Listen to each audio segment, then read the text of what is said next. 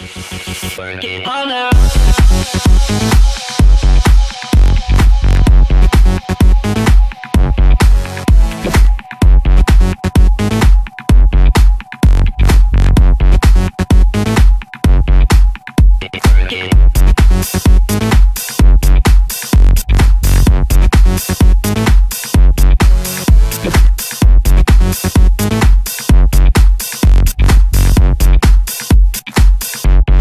Work it all now.